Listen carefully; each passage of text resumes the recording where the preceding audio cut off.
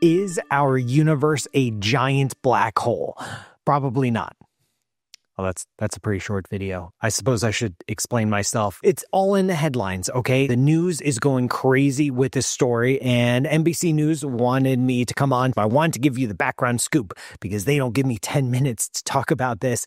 And I wanted to give you a perspective from a cosmologist about this paper, about this news story, and then how to frame it in our larger understanding of the universe. Check this out. So there's this paper with the monthly notices of the Royal Astronomical Society by Lior Shamir. And he's a computer scientist. And you know what? I love computer scientists. I have a great history with computer science. I love you. Also, you're not astronomers. But anyway, we'll take it if if you're a good scientist and you produce good data and good results it's okay okay? But i just wanted to point that out. So in this paper he took data from the james webb space telescope specifically one section of a survey called the jades survey of very high redshift very distant galaxies. And he found that two-thirds of them are rotating in an opposite direction to the milky way. And you expect in a random collection of galaxies galaxies just scattered all around the universe that some are going to spin this way and some are going to spin that way.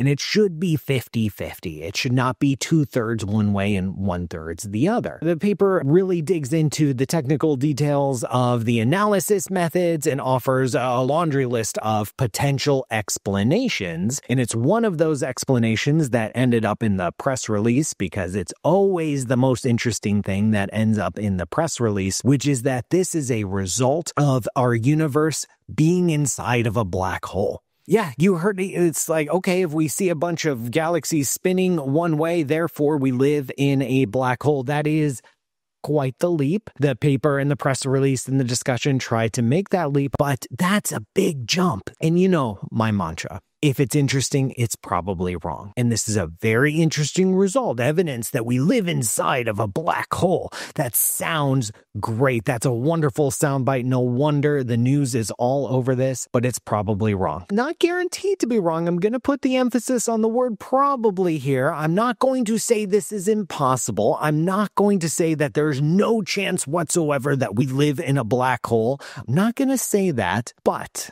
I am going to say that both the data here and the theory here are very weak and the connection between the data and the theory is is tenuous at best. So which should we do first? Theory or data? Theory data. Let's go with the theory side. Let's talk about how the universe might be a black hole. So first off, we don't think the universe is a black hole. Black holes are very, very different objects than uh, the universe. They do share some similarities, and it's from these similarities that you get this intriguing idea. The similarities have to do with the event horizon of the black hole and the singularity. So, a black hole is this region in space time that has a singularity at the center. It's a point of infinite density and surrounded by an event horizon, this invisible membrane that once you enter, you cannot leave. Our universe also has a horizon, and also has a singularity. The singularity is the Big Bang. If you run the clock backwards, our universe gets smaller and smaller and smaller and then compresses into an infinitely tiny point. It also has a horizon. This is the boundary of what we can see because the universe is only so old Light can only go so fast, so there's a limit to what we can see. Singularity, singularity, horizon, horizon. Here's the thing black hole singularities exist in space. I can point to a black hole singularity. There's one probably right there, surrounded by an event horizon. I can go visit it and I can I can leave as long as I don't cross the event horizon. Black holes are surrounded by space. The Big Bang singularity exists in the past. It is a point in time, not a point in space, and is not surrounded by space because the entire universe is all the the space. You can't embed the universe in something else because that's the definition of the universe. If anything, our universe more closely resembles a white white hole, which is a black hole run in reverse, where instead of everything crushing down together, everything is rushing away from a singularity. And that kind of sort of looks like the expanding universe. Okay, but that, that still doesn't quite work because the structure of the universe is very, very different than the structure of a white hole. It is possible to play a lot of games and try to stitch on the, the geometry of the universe inside of a, of a white hole solution. You can do it. It's a little ugly ugly, but the main problem is is that we can't form white holes. If you try to form a white hole, it just, just collapses instantly. It, it, they're incredibly unstable. So you have to go beyond general relativity and introduce a version of relativity called Einstein-Cartan theory. And what this does is prevent collapse into a singularity, and that if you form a black hole instead of collapsing down into a singularity, it kind of slides right by because you get this extra torsion term, and then out a white hole, and then you say, okay, well, where that white hole? Okay, I guess Einstein Cartan theory is not well regarded. It doesn't provide a lot of useful tools uh, beyond relativity. In almost all cases, it's identical. And it's not exactly clear that even if you avoid this singularity and produce a white hole, that you end up with something like the universe. It's not clear. But okay, that's the theory side. So the theory side is like not so great. It's it's not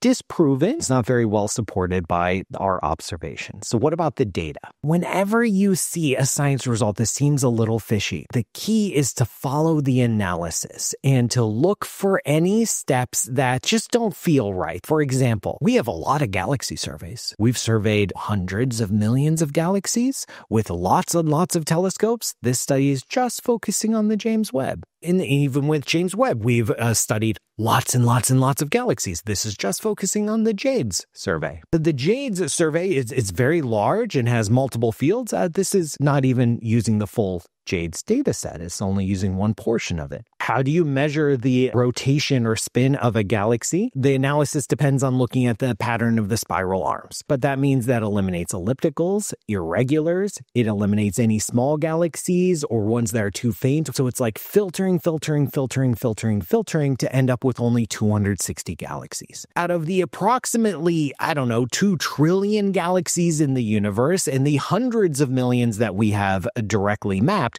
we're looking at a sample of around 260. And this author, in previous studies, has found opposite results, has found more galaxies spinning with the Milky Way than against. And so in this new paper doesn't address that he's finding the exact opposite conclusion as what he did before.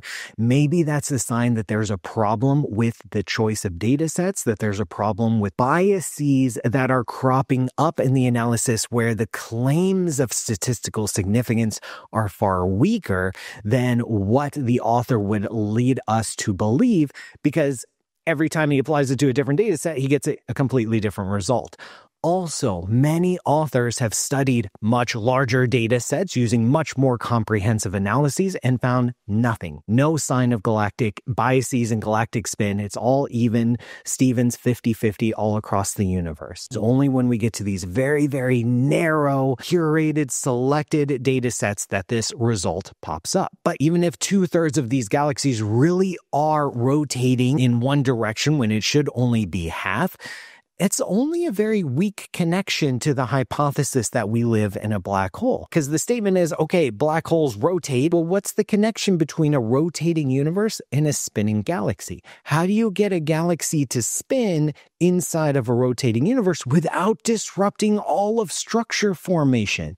There's no clear answer. And why doesn't this result agree with other galaxy surveys or even previous studies done by the same author? Why does it produce contradictory results? If we live in a rotating universe, we've checked not just galaxies, but we looked for things like the cosmic microwave background and, and Lyman alpha forests, baryon acoustic oscillations, all sorts of cool, nerdy cosmological stuff. We see no evidence there. So, how does that connect? What about the biases? What about the selection effects? This is honestly a, a, very weak paper. Yes, it passed peer review. I have a lot to say about peer review. If I was the peer reviewer, it would have not flown through because there are significant deficits in the analysis choices to get what looks to be a preconceived result and a careful selection of tools and parameters and filters to get that result. Even then, it's only a very, very weak connection to the idea of a rotating universe. It's a very weak connection to go from a rotating universe till we live inside of a black hole. I award you no points. The theory isn't standing up,